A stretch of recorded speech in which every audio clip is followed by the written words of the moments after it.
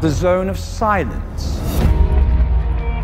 It lies in the northern latitude, which is the same line that runs through the Bermuda Triangle and the pyramids in Egypt.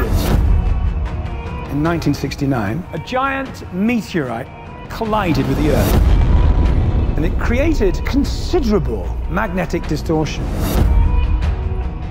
This stone contains evidence of the origins of the entire universe.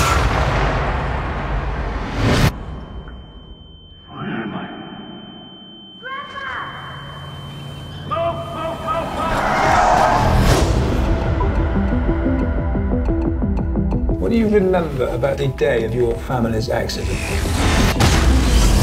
The accident had happened a week before. When your grandfather was holding the stone, we went back to that precise moment, and there were no survivors. The rumors had already got out about what we were doing in the lab. Your grandfather Wasn't sure that humanity was ready. We're all in danger.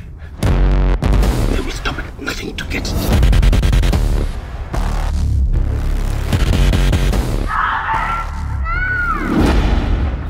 find that stone?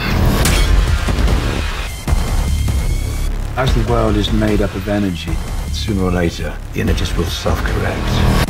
And if you save a life, you actually exchange it for another one.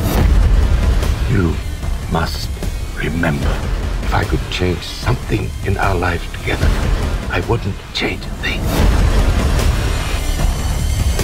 The consequences could be unpredictable and terrible.